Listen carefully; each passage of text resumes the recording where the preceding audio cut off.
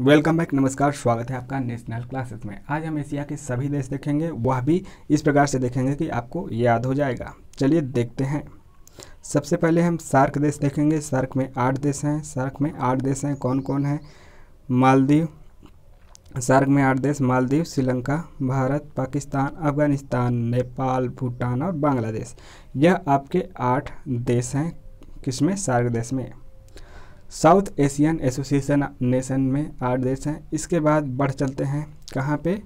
आपके आसियान देश में। आसियान देश में जो ASEAN association of South East Asia का आसियान देश है, उसे कहा जाता है।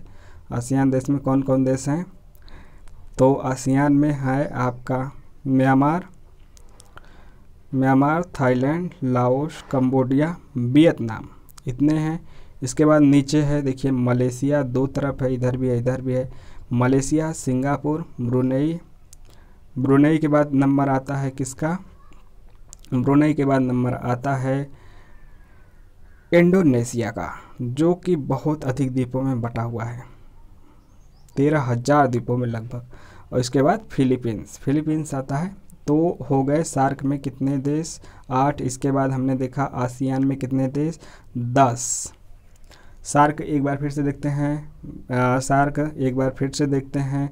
मालदीव मालदीव, श्रीलंका, भारत, पाकिस्तान, अफ़गानिस्तान, नेपाल, भूटान, बांग्लादेश। आठ देश से याद कर लिए। अब आसियान में आ जाइए। Myanmar, Thailand, Laos, Cambodia, Vietnam, Malaysia, Singapore, Indonesia Brunei, उसके बाद उसके बाद फिलीपींस। दस देश हो गए। Myanmar, Thailand, Laos, Cambodia Cambodia, Vietnam, Malaysia, Singapore, Brunei, Indonesia और फिलीपींस। दस देश अट्ठारह देश हमने देख लिए। इसके बाद आते हैं आपके Middle East, Middle Middle Asia पे। मिडिल एशिया में देखिए चाइना, मंगोलिया, उसके बाद रसिया, उसके बाद आपका आ जाता है कोरिया, उत्तरी कोरिया, दक्षिणी कोरिया, जापान।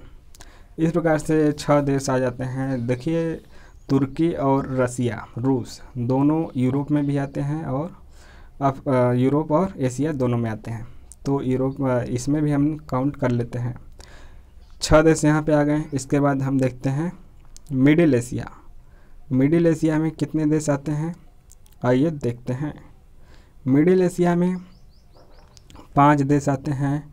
कौन कौन मिडिल एशिया, पाँच देश, Kazakhstan Kyrgyzstan, Turkmenistan, Tajikistan, Uzbekistan. Kazakhstan, Kyrgyzstan, Turkmenistan, Tajikistan और उज्बेकिस्तान। यह पाँच देश आते हैं मिडिल एशिया में। मिडिल एशिया में। इसके बाद देखते हैं काकेकस देश। काकेकस देश कहा जाता है किसको? जॉर्जिया आर्मेनिया और अजरबैजान, जो यहाँ पे तीन देश हैं, जॉर्जिया, आर्मेनिया, अजरबैजान। यह है तीन देश काकिकस देश कहा जाता है। सार्क में आठ देश हमने देखा, उसके बाद आसियान में देखा दस देश, उसके बाद आपका ईस्ट एशिया में देखें छः देश। ईस्ट एशिया के बाद, मिडिल एशिया में पाँच देश, मिडिल एशिया के बाद काकिकस देश में तीन देश। अब आइए देखते हैं मिडिल ईस्ट, जहाँ पे सबसे अधिक अशांति रहती है। तो मिडिल ईस्ट में, देखिए मिडिल ईस्ट में कितने देश हैं। मिडिल ईस्ट में तुर्की हो गया, साइप्रस भी वहीं पे है, तुर्की, साइप्रस, फिर सीरिया, लेबनान, इजराइल फ़िलिस्तीन यहीं पे है, जॉर्डन, मिस्र, मिडिल ईस्ट में आता है एशिया में नहीं आता, लेकिन मिडिल ईस्ट में आता है। उसके बाद सऊदी अरब, यमन इजिप्ट को ही मिस्र कहा जाता है, ठीक है? तो यमन के बाद ओमान ओमान के बाद यूएई यूएई के बाद कतर कतर के बाद बहरीन बहरीन के बाद कुवैत कुवैत के बाद इराक। इसको दो दो एक साथ याद कीजिए। तुर्की, साइप्रस, सीरिया, लेबनान, इजराइल, फ़िलिस्तीन, जॉर्डन, मिस्र या इजिप्ट, सऊदी अरब, Yemen, Oman, UAE, Qatar, Bahrain, Kuwait, Iraq. और लास्ट में ईरान। इस प्रकार से सभी एशिया के देश याद किए जा सकते हैं। एक बार हम फिर से देखते हैं, कहाँ कहाँ पे कितने कितने देश। देखिए एशिया के जो सार्क देश है, जिसमें भारत है, उसमें आठ देश। आसियान में दस देश, ईस्ट एशिया में छः देश। उसके बाद हमने मिडिल एशिया में पाँच देश, Kazakhstan, Kyrgyzstan, Turkmenistan, Tajikistan, Uzbekistan देखा। काकेका देश में जॉर्जिया, आर्मेनिया, अजरबैजान। उसके बाद मिडिल ईस्ट में तुर्की, साइप्रस, सीरिया, लेबनान इजराइल, फ़िलिस्तीन, जॉर्डन, मिस्र जॉर्डन, मिस्र के बाद सऊदी अरब, Yemen, Oman, UAE, Qatar, Bahrain, Kuwait, Iraq, Iran, ये सब देखा। तो यहाँ पे आपके सभी देश कवर हो चुके हैं। एक बार फिर से यदि बात की जाए तो सभी का नाम लेने की तो देखते हैं, मालदीव से शुरू करेंगे। मालदीव, श्रीलंका, भारत, पाकिस्तान, अफ़गानिस्तान, नेपाल, भूटान, बांग्लादेश।